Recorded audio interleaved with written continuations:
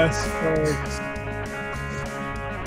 Welcome to Left Reckoning 118. That was uh, our boy Rick DeSantis, who has a laugh that can cut both ways. As a very bad guy, it's a it's a ludicrous laugh. it's it's endearing.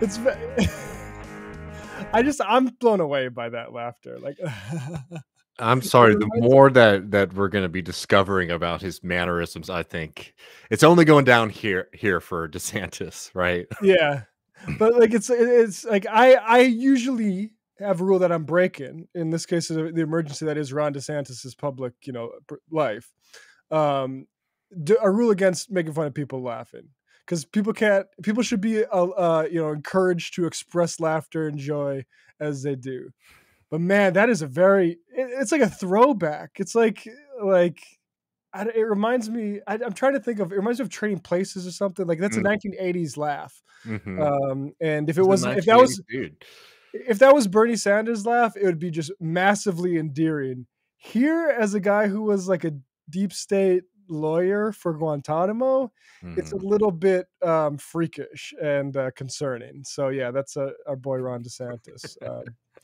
but uh, anyways, back to who Ron DeSantis wants to overthrow uh, in the upcoming presidential election, which he might actually uh, enter. Uh, there's some news on the Joe Brandon front.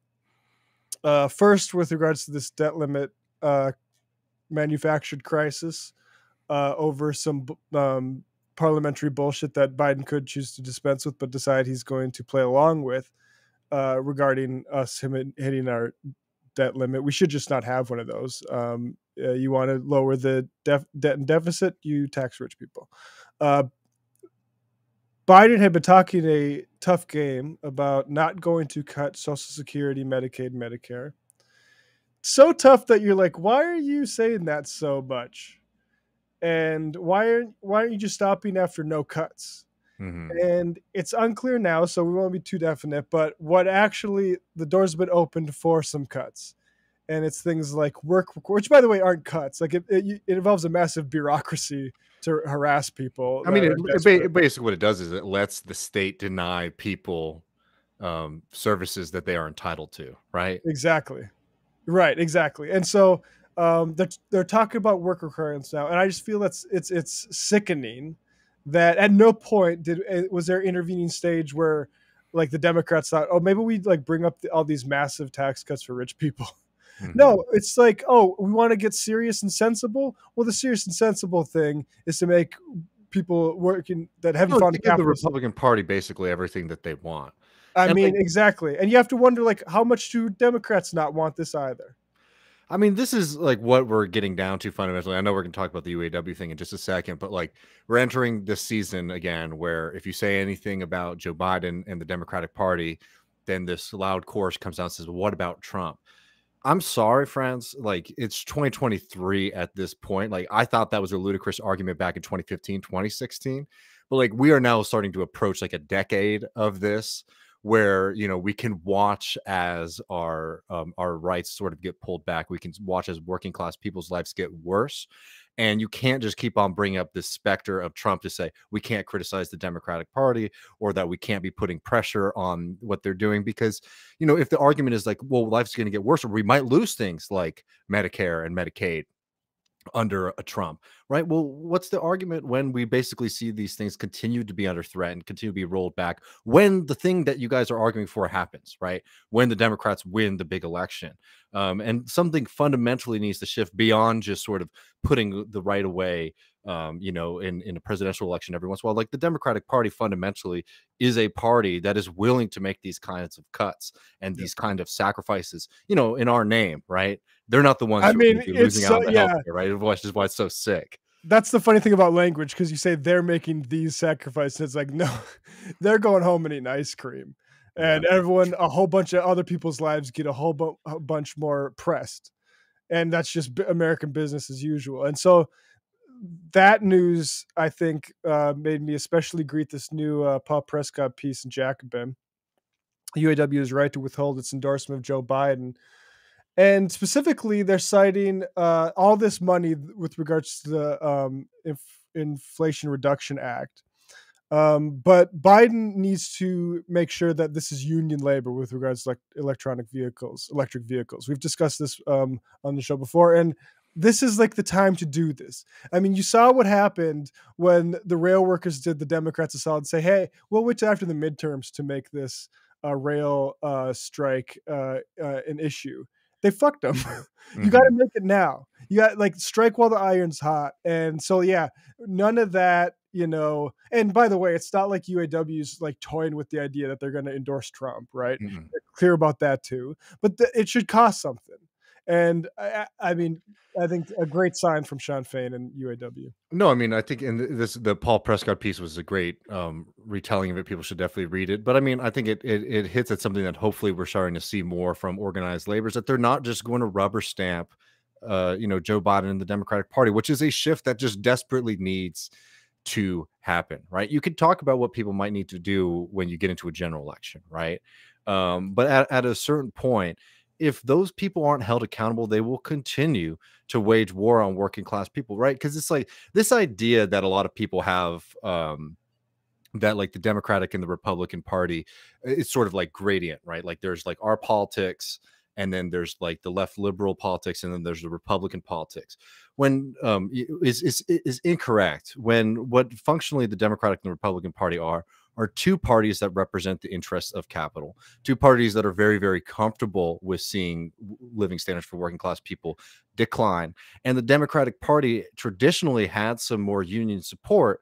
But as we've seen, and this is the really frightening thing about Joe Biden's presidency, is that their strategy that they're trying to build up around him and the new chapter of the Democratic Party is not trying to win back labor, is not trying to win back working people, but rather trying to pull away at wealthy voters in the suburbs, um, particularly in the South.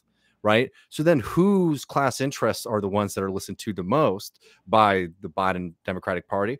It's wealthy professionals right? So understanding that yes, the Republican Party represents the bosses and the elites, um, and but so does the Democratic Party. And this idea that the role of unions and organized labor and working class politics right now is to sort of shut up and sit down as Biden actively does things, for example, like the railroad strike, blocking the railroad strike. Right. Again, I'll just say this for the thousandth time because I think a lot of people forget this. This was not some act of God. This was not something that was forced upon him by the Republican Party. This was something that Joe Biden said to Congress. I need you guys to pass um, I need you guys to pass something on this, right? He brought this into motion. It wasn't something that was forced upon him. He took the active role in denying people their right to withhold their labor in order to get a better contract, right? And you can't just take this deal from them in perpetuity which a lot of liberals basically are arguing that like because we dislike the right which we do and we think the right is a threat to this country and the working people which we do therefore we should accept whatever the democratic party does or wants to do to working people that is a recipe for further declines um, in, in the living standards of working people further declines in the union movement and it's really good to start to see members of, of unions, particularly unions as powerful and embedded as the UAW, saying, no, we're not going to play this mm-hmm. game anymore until you all start showing up for us. And the stuff here is simple, right? That they're demanding. Right. Yeah. Yeah. It's exactly. This isn't even like the PRO Act. Yeah. Right. This is like, hey, you know the, how you're giving these industries a massive amount of cash? Can we like make sure they don't use that to just undermine the like labor victories over the past century? Is that too much to fucking ask? Yeah, I mean, and you know, again, just be very clear, what they're saying is the if the government is going to be pushing forward a, a project like um, IRA, um, that is going to be trying to encourage more electric vehicles, don't let the electric, uh, so don't let the big three, the big car companies, use this to undermine labor. This is simple for again for a president, by the way, who likes to tout himself as you know, quote unquote, Union Joe. Simple as day, and the fact that this is controversial for anybody um, is ridiculous, and I'm happy to see um, figures um, like in like the like in the UAW push back on this finally, um, because yeah. it's been too long of just rubber stamping. Um, you know, Democratic Party politicians um, without demanding that they start showing up and fighting for working people. Yeah, absolutely. Well, folks, um, we're gonna we got some really cool stuff coming up um, in the uh, next few weeks on Left Reckoning, and don't I just want to remind folks in a second we're gonna have Vivek Chibber on the program, and we're going to be talking about false consciousness, imperialism, um, and what the state of the left is now that Bernie Sanders is not going to be running for president anymore. Um, but don't forget, after that, we're going to have Matt Huber on the program, uh, which we're always really excited for, and uh, he's going to be in the post game, so be able to leave calls and questions for him. Um, and we're going to be talking about some of his critics um, who've been criticizing his great book, Climate Change, as class war, um, particularly one that was in historical materialism, the journal, um, which I'm really looking forward to having, uh, you know, Matt on to talk about that. And if you have any questions or things you might be wanting to ask him, be sure to sign up at patreon.com slash left reckoning to get access to that. Yeah, absolutely. And you know, sorry to double back to the segment. Yeah. Um, but there's one thing I did, you know, that's not just theoretical what you're saying about the preferred voter of the Democratic Party leadership. Um, Bill Clinton, the Democratic Leadership Council, explicitly that was strategy about um, with regards to like educated vote, college educated voters and things like that. But as recently as 2016, Chuck Schumer was in the headlines Mhm. saying for every voter that Trump picks up in certain demographics, we'll pick up two in the suburbs, and they did not. And Yeah. so, you know, I think if you if you're concerned, like you should be a little bit more open to uh, challenge to those types of folks. No, I mean, I, I think so. And like, I think it's very important that, again, this isn't like a theory on our part. This is something that's becoming explicit uh, from the Democratic Party. And like, you know, th- they may have some success at times, like in a state like Georgia. I think it's incredibly dangerous and damaging in a state like Texas, uh, where, by the way, I don't have the email up yet, but the Texas Democratic Party, I mean, of course, they got to, you know, pump, you know, hit their chest a couple times in a fundraising email. Um, but they're basically saying, "Oh, it looks like Texas is going to turn blue in 2024." Uh, something I've been hearing my entire adult Yeah, life. sounds familiar. We'll believe it when we see it. Um, but again, folks, if you want to be joining us for the conversation with Matt Huber, be sure uh, to join us in the post game at patreon.com slash left reckoning. Um, I think uh, is, is Vivek here? I'm not seeing him on camera. Um, Uh, let's see here. Um, let's bring him on. See, hey Vivek, can you hear us? We might be having an yeah, we might be having a little tech issue. Um, let's see here. Should we take a little break and uh, yeah, we can take a little the- break. All right, we'll be right back, folks.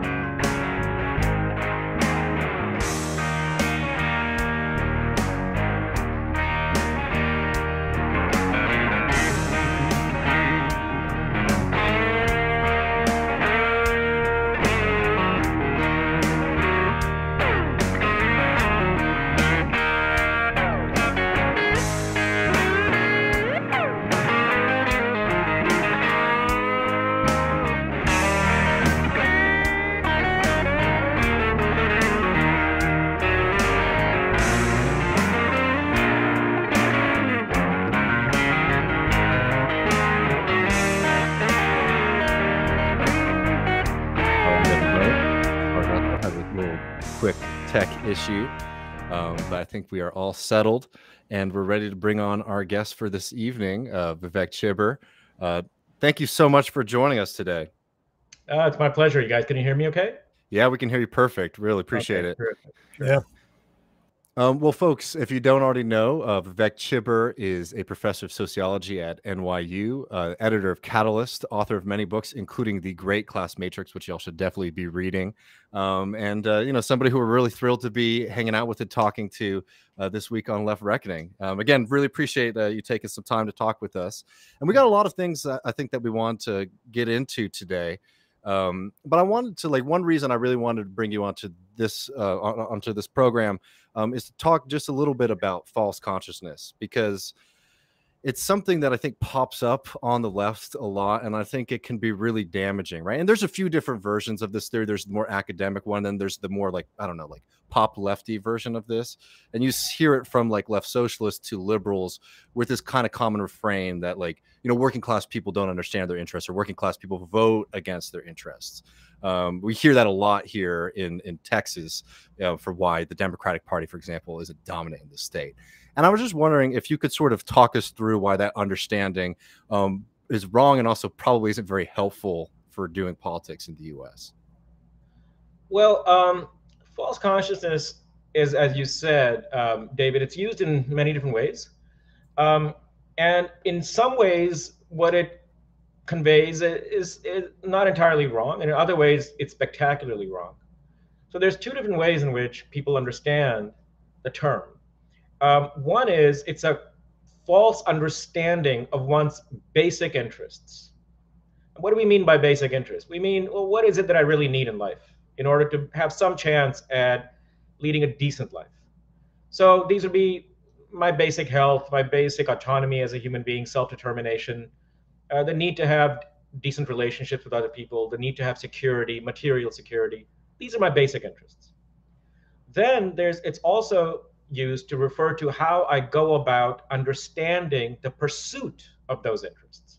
So there's what I need, and there's the best strategy for acquiring what I need. Now, in traditional Marxism, false consciousness was a term Marx and Engels never used. It's a term that's used by their followers uh, in very sporadic fashion. It really becomes used widely after the Second World War by the New Left. And when they use it, they typically use it to mean a false understanding of one's basic interests. So, and why do they use it that way? Well, they're trying to understand why workers don't get up and rebel, why they don't fight against their bosses.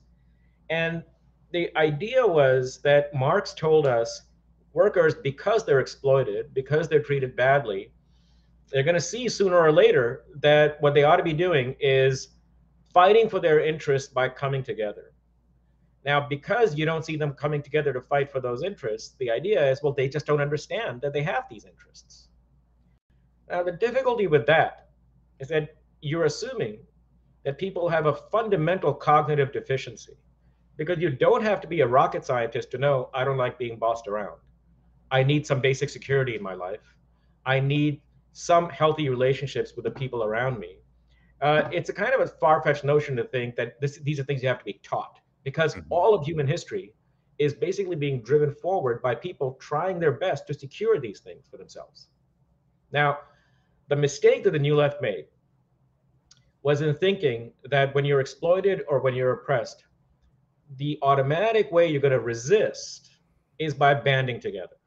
They were right in understanding that people are exploited. They were right in understanding that they're going to resist the exploitation. They were mistaken in, mistaken in thinking the automatic way of resisting the exploitation is through collective action, through coming together.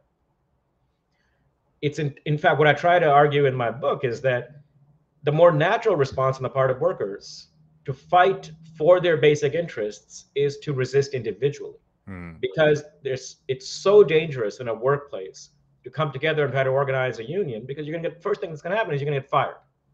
Mm-hmm. So if you're not organizing, it's not because you're too dumb to know what you need in life. It's because you're smart enough to know that it's better to hold on to a shitty job than to have no job at all.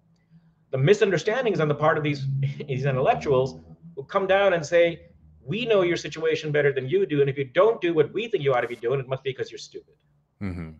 Now, what that leads to is an incredible elitism on the part of the left, where instead of what the traditional left used to do, which is to go to where workers are, try to understand why they're responding the way they are, because you assume that they understand their situation better than you understand their situation, since they have to live in it and you're just a Johnny come lately, you just got there.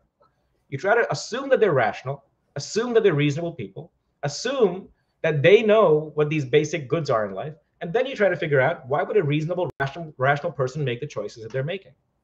What what happened with the rise of the university as the site of left-wing theorizing is people who have no connection to workers' everyday lives are answering questions that to which they have no information and they have no answers. So it's easy to fall into this elitism. Now, on the second issue, which is okay, how do we try to bring together a strategic vision that fulfills the need for our basic interests? On that, yeah, you can fool workers. Why? I know I need a job. I know I want security.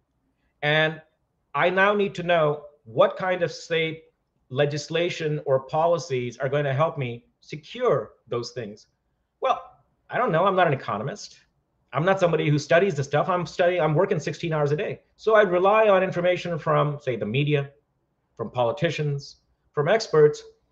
And when they tell me the best way to get security is through tariffs or through shutting down immigration or by kicking out all the immigrants, I'm like, okay, well, maybe that makes sense. So I vote for the guy who's saying kick out all the immigrants. I vote for the guy who says we need white privilege, we need white um, uh, pride and things like that, right? That's not because I'm too stupid to know that this guy is not going to give me what I need. It's because I have no way of assessing whether or not what he's saying is true or not because I don't directly experience those things. Those things that I directly experience, I'm pretty, it's hard to fool me. But the things that require external knowledge, yeah, you can fool me about those things. So a false consciousness about matters that require external information, yeah, you can have that. That's just false information. Hmm. But false consciousness about my interests is not something that's going to be very common. And so when I look at people voting for the Republicans, I don't shit on them and say, these guys don't know the basic things. What I do is say, the academics, the professors, the magazines, the media, they're all failing working class people because they do not give them the information that they need. Why? Well, because these are all elite institutions. These are all elite organs, the media, the politicians, et cetera. So we shouldn't be surprised that they're feeding them crap. And we shouldn't denigrate the workers when they lack the information to make better choices about interests that they actually quite accurately understand. You know, um, there, there's a piece I should have sent it to that, you know, was very rare in American media um, that they the, the, Texas Monthly did um, this most recent midterm election where they interviewed non-voters, which they never do, right? Um, and this journalist goes and talks, you know, predominantly like working class people in parts of Texas where people don't vote, and was just amazed at how intelligent they were and how well they understood the issues. And you know, people were talking about bank regulation to him, um, which again, like, just completely throws away, in my opinion, this kind of thesis that like that that that, that you see sometimes for folks that uh, you know working people don't understand sort of even like their class enemies but um, listen if you're actually trying to organize people if you're actually trying to organize working class people and you have this view you'll last about five seconds yeah. they'll just throw you out they'll say you don't know what the fuck you're talking about so it, it just this is redolent this is indicative of a left that's basically siloed miles away from people's ordinary lives and doesn't bother to understand or try to understand why they're doing what they're doing that's why Bernie Sanders was so important and so successful. He said to them, You're right. You are, it's understandable that you hate both parties because both parties are captured by people who are trying to screw you. And mm-hmm. that, that resonated with them. Well, um, I, I, know there's some big stuff that I wanted to get to in a second, but just while we're on this, I'm just curious what what you think about this too, because this is something that I come across a lot when I'm talking to people here. Um, which is this this kind of hurdle that I, I'm, I'm finding more and more with like let's call it like democratic socialist politics. So even people who like might even come from certain backgrounds, know folks. When I talk to people, even I, I live in the same neighborhood I grew up in. I, am a working class kid, right? And I talk to people about these things that I want all the time, um, and they love things like Medicare for all. They lo- they like things like the Green New Deal. But the thing that you always sort of rub up against is this like idea that like oh that's never going to happen right like politics is not something that is going to improve my life it's more likely than not something that is going to hinder my life, right? Whenever politics comes to my life, it's usually a bad thing.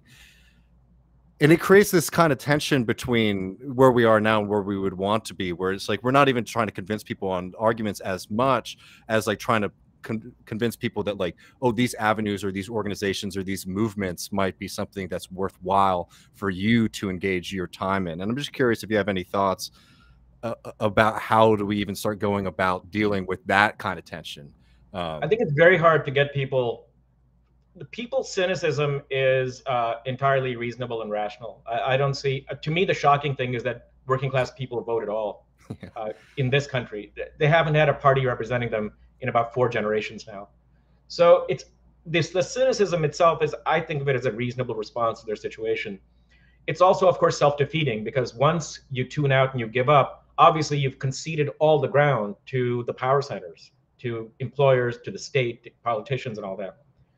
So it's self-defeating, and in my mind, bringing them out of it through the electoral arena is not likely to happen mm-hmm. because the electoral arena is so far removed from their lives and there's no you know people become less cynical when they see something actually happening something that's actually being done that makes it worth their while to participate. Now sanders thought that if he comes out and gives them a program in his in his uh, in his runs for president that is energizing that's hopeful that shows them that something is possible maybe they'll come out. And what he found, he knew that the electorate that actually votes, it's going to be an uphill battle for him because that's more affluent voters who vote. Mm-hmm. He knew that the only chance he has of succeeding is if he brings out the half of the electorate that's given up. And what we we saw was that it didn't happen. People loved him, but they just thought there's no way he can win. The system is rigged. There's no point to it. So my lesson from that is the way to defeat cynicism is through fighting a different kind of battle, not the electoral battle. Hmm. You need to organize in people's workplaces where they see that coming together, banding together for achievable goals, not the ultra left crap that you see on the student left. We want revolution now. It's 510. Where's my revolution? Um, achievable goals around everyday issues. Now they start seeing the utility, the, the importance of collective organizing and collective action, then you can start thinking, okay, now that we're all together, maybe we can hold some politicians accountable so that when they're in office, money doesn't do all the talking. But those are, you have to take steps to get there. I think trying to get people involved by saying, hey, I know this candidate and he's a really good candidate and I think you should come out and vote limited success. I, mm-hmm. I'd be surprised. So what the, the, lesson is that success is the way to come out of cynicism, and you need to find battles around people's material interests that they can actually win, and then we'll see what happens. Mm-hmm. We've talked a lot about the uh, Labor Party and the need for both the Labor Party and the labor movement. Which, forgive me, I'm not sure if you mentioned it in confronting capitalism or class matrix, but I'm curious, like one thing that I thought about reading is that is you kind of need the labor movement first before you get the labor party right. Like, like I'm just curious your response to that. It's very hard to say, uh, Matt. Which it's a chicken and egg thing. Mm-hmm. Um, my view is that what we saw, you know, I'm old enough now where I can talk like an old man. What we saw in the last like 25 years was that the left was thinking, if we just build labor organizations, one factory or one plant or one Starbucks at a time, in a, we call it like a molecular fashion, one unit after the other, you can build the movement and then you can form the party. Or they thought, let's form a party, 18, 20 of us get together, we declare ourselves the Workers' Party of America, and then we'll go organize. And what you see is that neither has worked you can't you're not going to get a labor movement by organizing one establishment at a time because there's hundreds of thousands of them. And you can't just get 18 people in a room and say we're the new labor party unless they have some organic connection to the people who they have declared their allegiance to.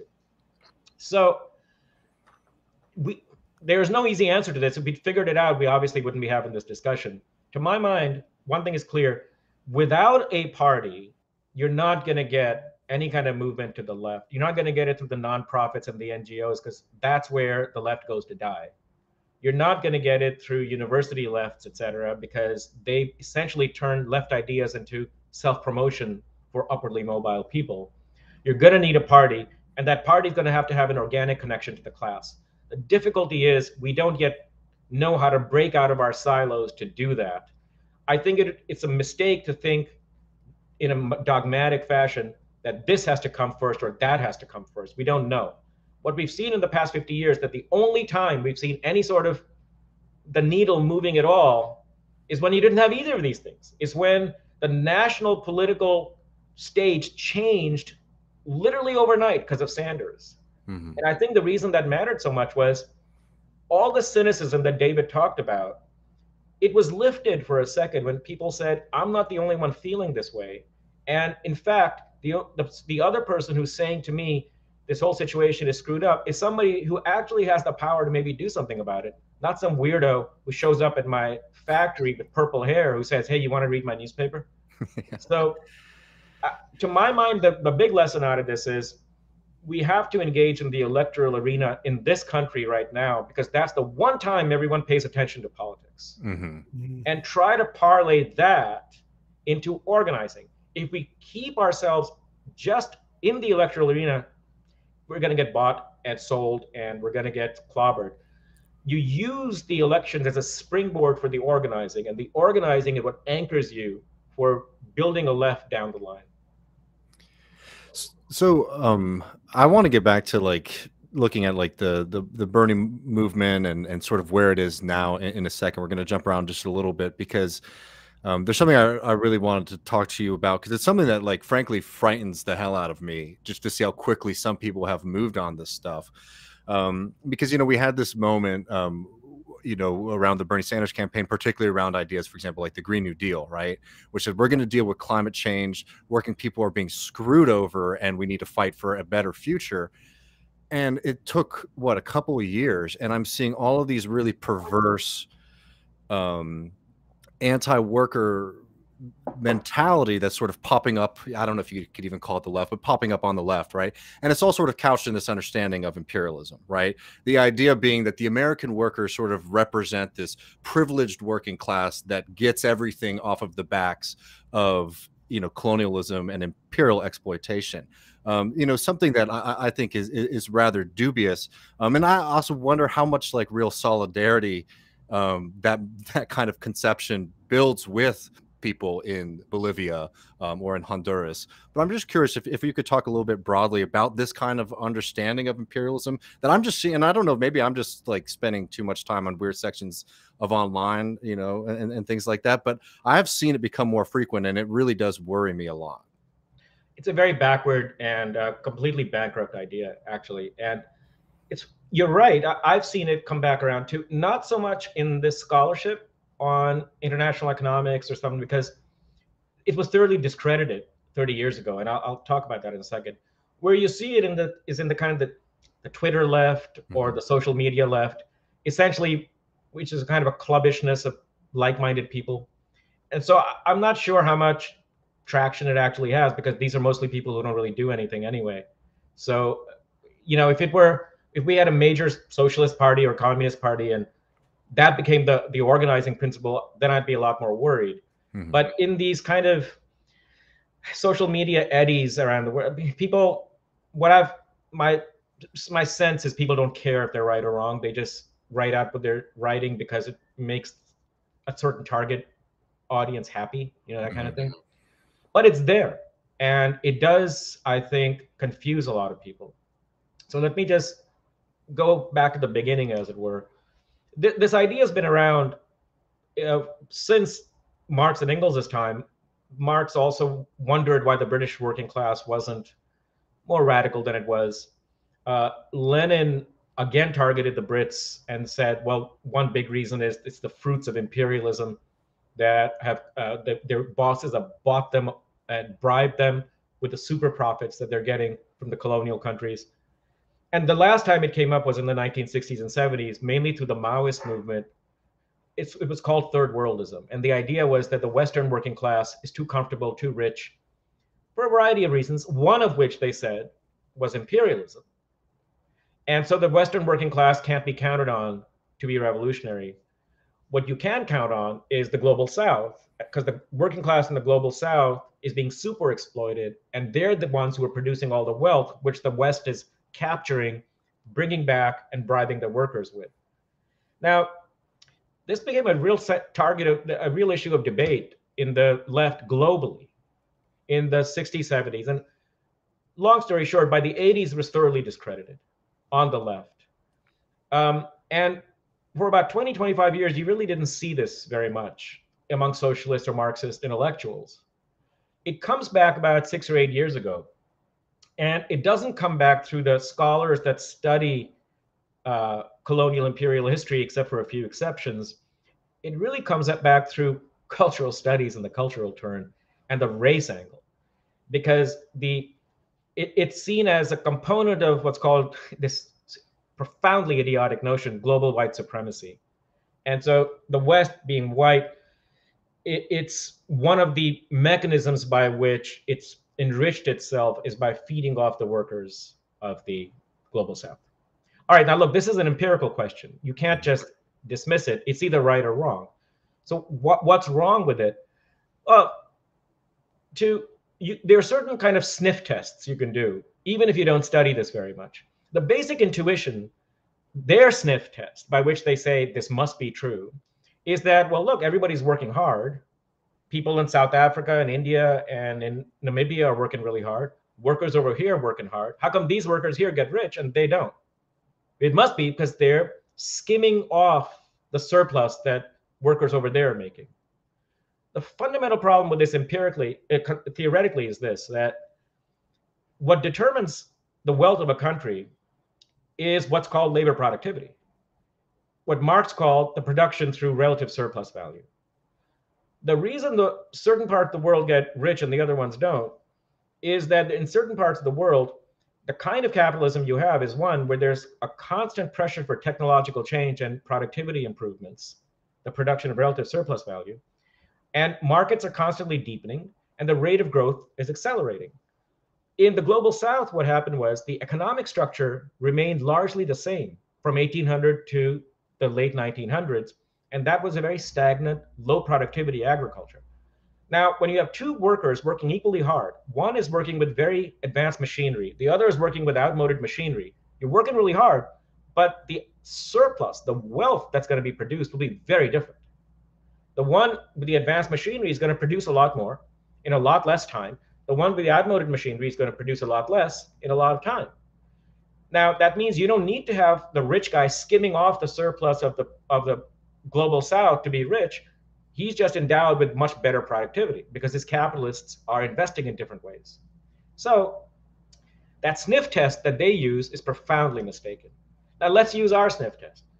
Could it be true that the West got rich from colonialism. Well, here's the basic problem with that. In the post war era, England lost all of its colonies, all of them, by the 19, mm, mid 1960s. If this third worldist argument were right, you should have seen a profound crisis of British capitalism in the 50s, 60s, and 70s.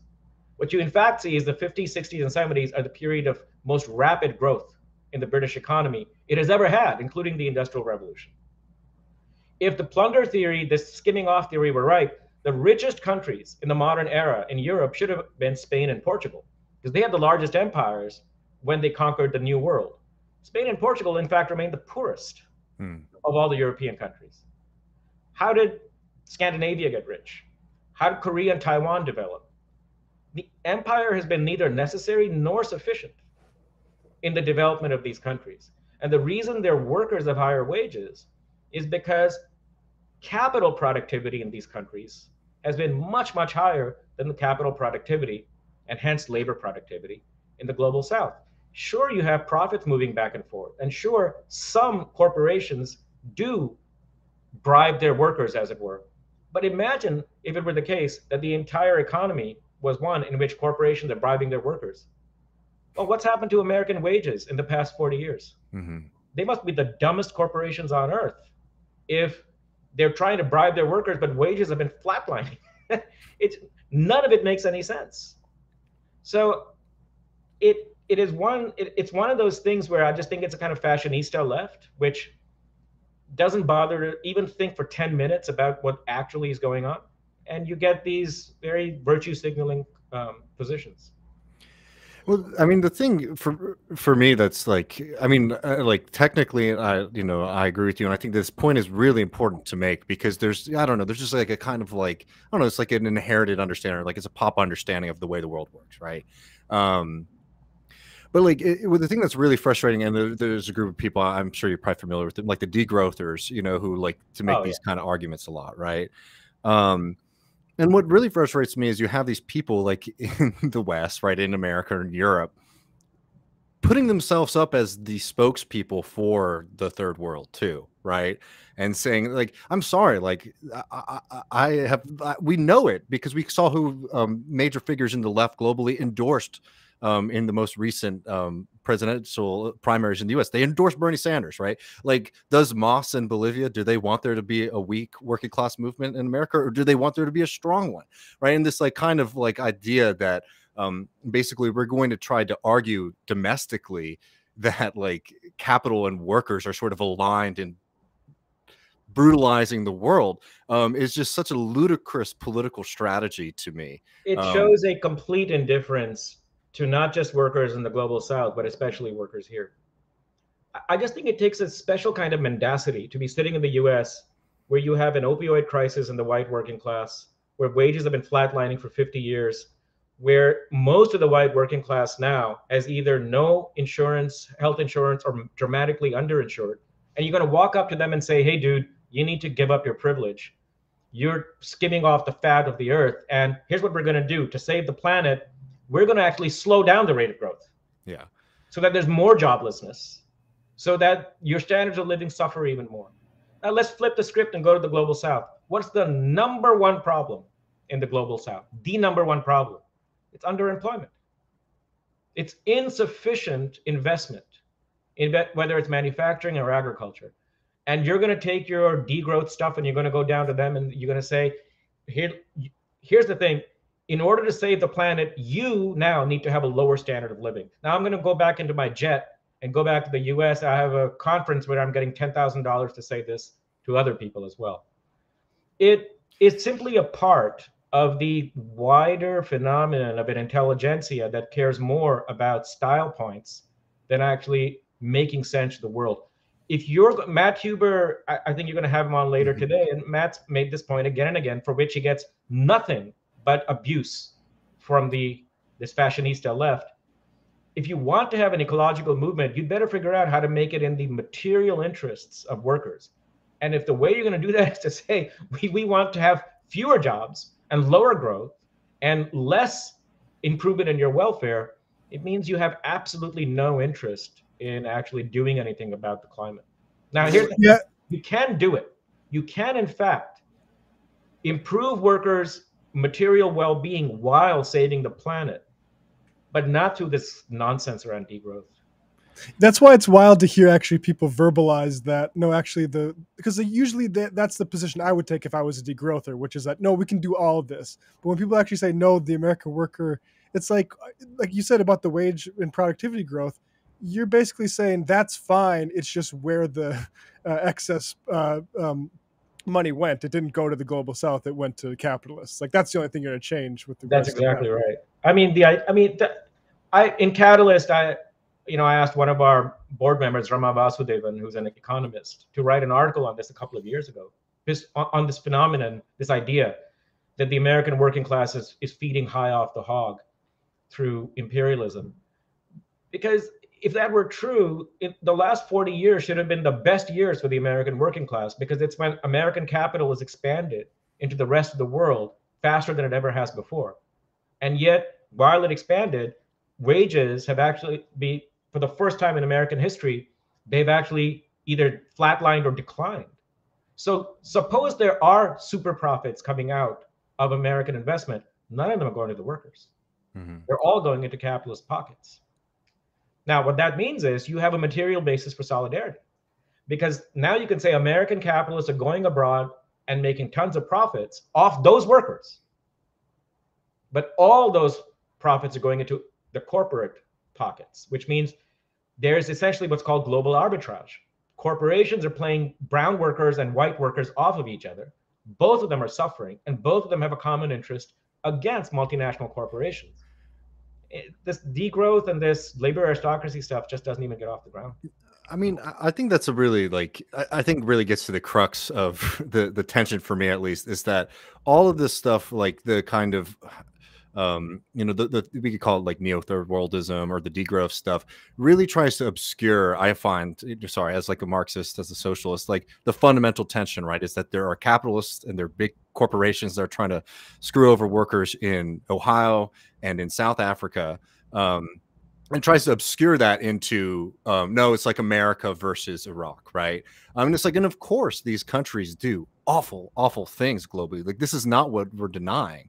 Um, but this this idea that you're now sort of you're you're you're you're not doing any class analysis in that basically you're doing like, yeah. fundamentally this this approach cannot fight imperialism because it doesn't have any way of finding out who's the agent that you're going to be organizing against imperialism the reason you're against one is against third worldism is not because one says imperialism doesn't exist yeah. it's because third worldism is the organic ideology of the the aspirant bourgeoisie in the global south I, am from that part of the world. Mm-hmm. And there's nothing an Indian capitalist likes to hear more than for an American to say the Indian nation is being commonly exploited by American capital. That means that the Indian capitalists are also taking it on the chin by American capital because the answer then is Indian workers and Indian capitalists have to unite against global multinationals. There's nothing an Indian capitalist wants to hear more than to say yeah, let's both come together because then now you've got this fictive community, this imaginary community of brown skinned Indians and uh, capitalists and workers. And capitalists can use that ideology to essentially screw over their own workers. If you, over here, if you're anti imperialist and you say that there's this global white supremacy, that white workers and white capitalists are bound are coming together, who are you going to organize against your multinational corporations who are going out into the global south? Not workers, since apparently you think those workers are already they've already been bought and sold. So who are you going to organize? How are you going to fight American imperialism? You're going to wait around for Guatemalan peasants to do it? The way you fight American imperialism is over here. You stop the money going into the war machine. You yeah. stop the money going to the IMF. Who's going to do that? Graduate students. If you, if you don't organize working people, who's going to do it? well, I mean, I would love to. We should do something again on on like post colonialism in in general because uh, you know I only have an undergrad, but I, I study philosophy and like my my my professors at the university I went to were all post colonialism. So I spent a lot of time doing that. I think it's really interesting. I love your critiques on that, but we might have to do that um, another time. Um, but because I wanted to get to this a little bit, uh, like where we're at now, but maybe to get us to where we're at now um, I'd like to talk about this kind of phenomenon in like the American academic left and maybe the European academic left, um, which to me has seemed to do almost everything to try to like pull class out of left so and leftist and like socialist politics. I'll just say like um, you know, I had a really great professor at, at the university. I won't name him now. I really appreciated him so much, but I'll never forget. Right? I'm like, I'm a poor white trash, like redneck kid. First from my family go to college, and I, I studied Marxism because I thought this was like a tool to like fight for my family and my class and all this kind of stuff. And I remember I took a graduate seminar with him on Marxism, and it starts with Marx and Lenin.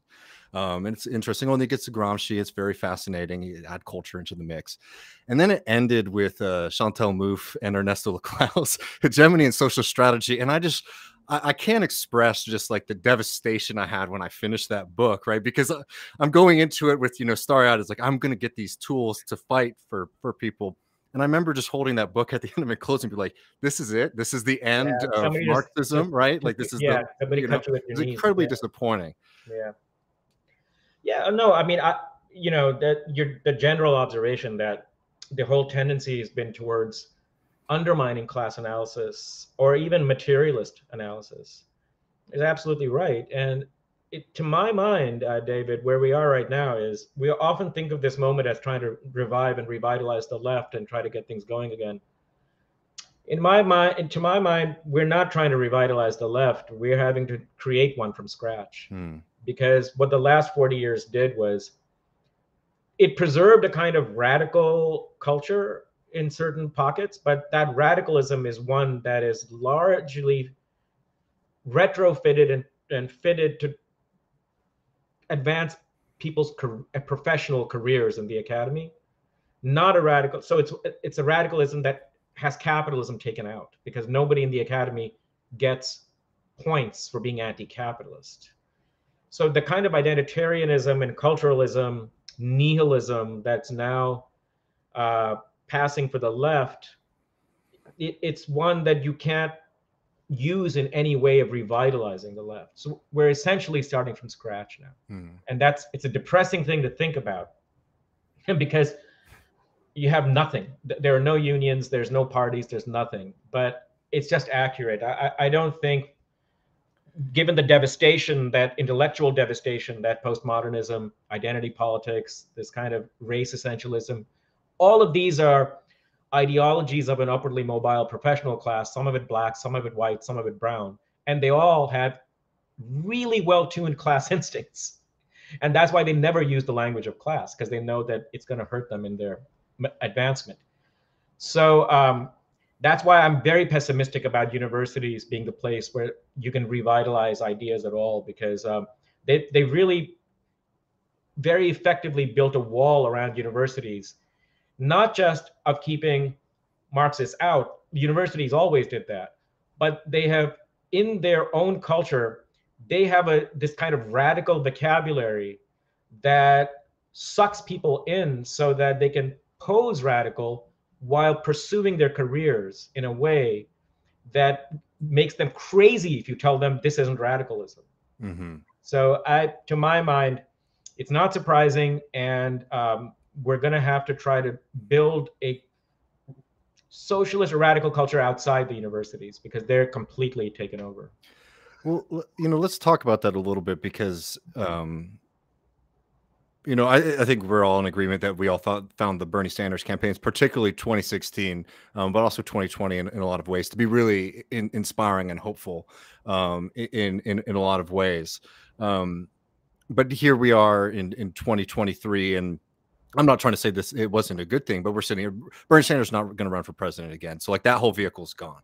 Yeah. And what I've seen has just been um, a, real retreat into a lot of people who are like maybe from the older left into old tendencies and habits. Yeah. Um, I think a lot of people who maybe came to the left during the Bernie Sanders time, yeah, I don't know, maybe trying to figure out what exactly to do. But like, I mean, I feel like we're more demobilized than we have been, um, even in like recent memory, um, right now. And um, I'd be curious, like, um, because like I don't know, like, I, let me like the good pitch is this.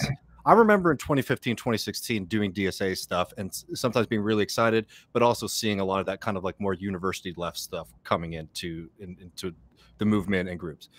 Something did happen when people had to go out and talk to people and be in public. Where like you know, eh, you know, it wasn't even that anyone won an argument. It was just like eventually, like they realized, oh, this is really alienating, or this doesn't work. Yeah. Um, so I wonder like how we can continue to refine and grow um, versus uh, uh, the the left right now versus what I'm seeing now is like more fragmentation and a lot, a lot of people retreating to some of those old tendencies.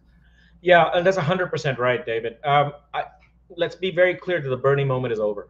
Yeah. There, it, and it lasted, you know, it was not inconsiderable. It lasted about six years or so. And I gave this talk to the DSA, I think it was 2018, when I said, look, we've got about five or six years to try to make something of this. Because once Sanders retreats from the political scene, uh, there's not there's nobody else standing uh, in uh, what's called backstage, right? Uh, this whole squad and all that. They're they're really their natural constituency is the university left. They're not gonna. The key to I'm, I'm, it's shocking that I have to say this. The key to American mo- moving to the left is the white working class. You will not get anywhere if you spend all your time shitting on the white working class wagging your finger at them, telling them that they're racist, t- telling them that they're misogynist, telling them they're ripping off the world. The fact of the matter is, they are still the largest section of the American working class.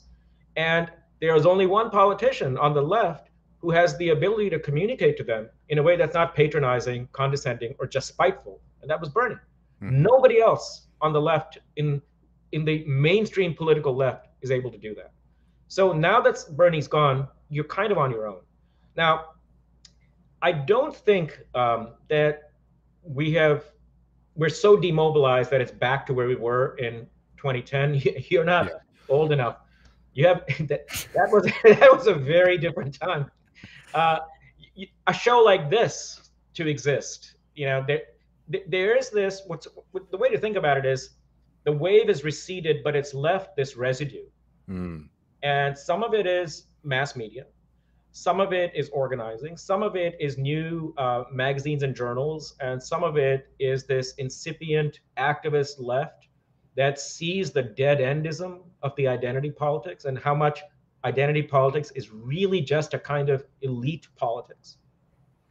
The difficulty is there's no roadmap as to how to get from here to there because everyone like everyone on the post bernie left understands that the key is labor. The key mm-hmm. is class organizing.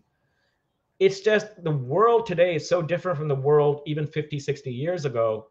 It's not we don't know how to get into that class and start doing these everyday organizing works there are sections of DSA that are doing it. DSA itself will never do it. It's just it's never going to happen that that organization becomes a working class organization.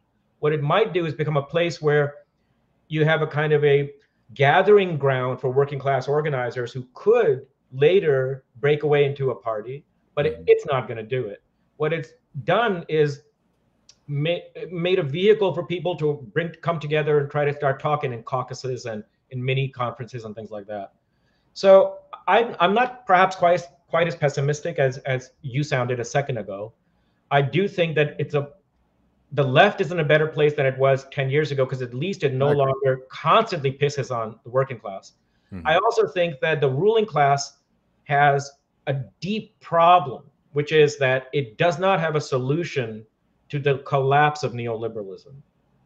Neoliberalism has ideologically collapsed. Mm-hmm. It is mm-hmm. not yet politically challenged. But that ideological collapse shouldn't be underestimated. Everybody knows that the jig is up. The difficulty is the only social forces organized enough to reconstitute themselves right now are capital and the servants of capital. So it could be that five years from now, we're even worse off than we are today. It could be. But the situation is fluid. And all we can do is just keep on keeping on. The key thing is not to fool yourself about anything understand that you're weak. Understand that a soup kitchen is not the same thing as organizing a factory. Understand that the right however powerful it seems still has very very feeble support for itself. Yes. And, and do not be intimidated by identity politics because right now that is what the the establishment is using to beat down on the left. And you're going to have to find a way of not being intimidated by it yeah, I mean, I, I. I mean, I think that you know, there's a lot of like, I, I totally agree that like we're way better off than than than we were ten years ago. Um, you know, I was, you know, still just learning about these things at that point, but um you know i think one thing like a hurdle that's sort of in front of us is i think a lot of people who are socialists are sort of social progressives first and socialists second and hopefully that can start to change no um, that's not going to change because you're talking about david you're talking about segments of the middle class the best you can hope for from the class as a whole is that it not be vicious, that, that, it not be completely hateful towards working people. Um, and right now, liberalism is collapsing. It, it is collapsing into an open denigration of the very liberties and the very rights that liberalism was associated with for a long time. And that's because the late what civilized liberalism was the working class movement. Mm. And if you look at 19th century liber- liberalism, it was openly contemptuous towards working people. That's what we're, what we're sliding into again. You, what all you can hope for is a section of that liberalism is going to be the kind of troubadours for working people within its class. But the actual battering ram against the social order is going to have to come from the class itself, from mm-hmm. labor. There are parts of the middle class that commit class suicide and go organize them, but you can't expect that of more than just a few people. Mm-hmm. Well, you know, um, I mean, there's so much I re- really want to get to. I don't think we're going to be able to, but like, could you talk just a little bit about like the party um, and, and, the class because this is something I think a lot of Americans sort of have a hard time conceptualizing, right? Because it's just not something that they experience in politics. When people hear party, they think like the Democratic or the Republican Party, which aren't parties, I think, in, in the more like Marxist political theory sense, right? Nobody thinks they're parties. Like yeah. literally nobody. E- even mainstream political scientists don't think they're parties. um, but I mean, if you could, because you know, basically, like what all what you see happen a lot is like there's all this kind of hesitation about the, the party question like there's hesitation that i have in the sense of like you can't just sit in a room even if you have like 10 people who are the most like blue-blooded working class people 10 people in room say we are the the workers party and that's going to be the party right? That we need something more rooted than that um but you also see you know people basically they get worked up about the, the way elections are set up in this country but could you talk like just more generally about like why the party is such an important organ for politics you know for class politics in particular? Because i think a lot of people like the only thing that they hear when they hear the word party is like we're going to have you know the SP Socialist Party by a, somebody's name when they run for office, and we're talking about something a little bit different than that. You know, um, you can step back a second to to derive the answer to this and say, okay, what is your your how do working people year after year, decade after decade fight for their interests in a situation where you have a huge geographical spread across thousands of miles, across thousands of establishments? You can't have what's called a movement if everybody's just doing their own thing. Obviously, because capital is centralized, the state is centralized, and if your movement is just thousands of people doing their own thing, not talking to each other, the centralized forces of the ruling class are going to defeat you every time, not just through guns, but just through outmaneuvering you, right? Mm-hmm. So you have to have some, some, let's not call it a party, call it whatever you want, yeah. some centralized entity that is coordinating all these various efforts of working people. All right, well, maybe it'll be an NGO, maybe it'll be a nonprofit. The problem with that is this how do these organizations like nonprofits and NGOs, how do they reproduce themselves over time? Well, a party does it through membership dues, through fees, and through energizing its base. So it comes and does volunteer work, unpaid work for the organizing, right? Okay, that forces a party to be accountable.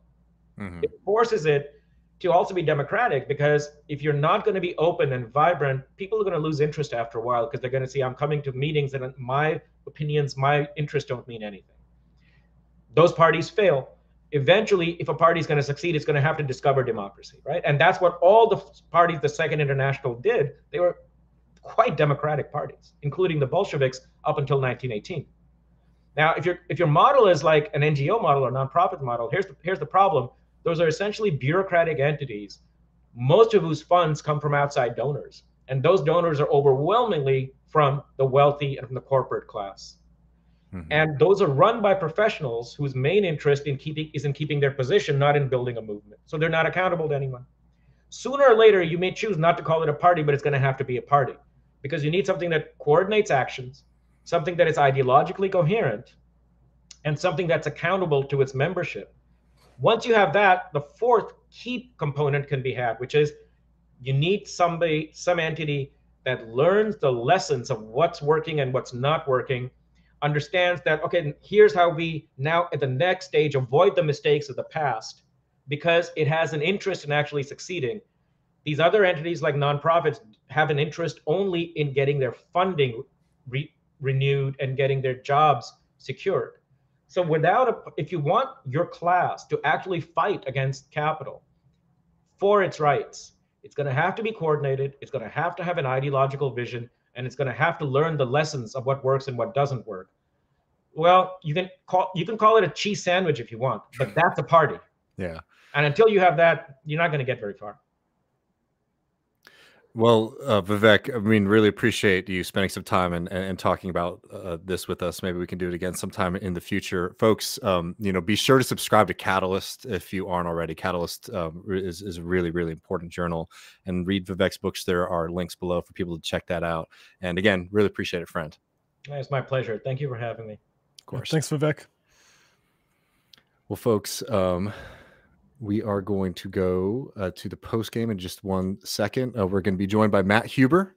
Um, who will uh, be taking some questions and calls with us. We're also going to be talking about this bizarre attack on him um, in historical materialism and uh, hopefully talking a little bit uh, about degrowth. Also, uh, you know, I'm going to have to do it just because I'm not going to have the opportunity to do it later. Um, we're going to talk a little bit about Rick Perry, his governor president. David's got a. Uh, he's been begging the editors, like, please find room for this. So we got to please find room.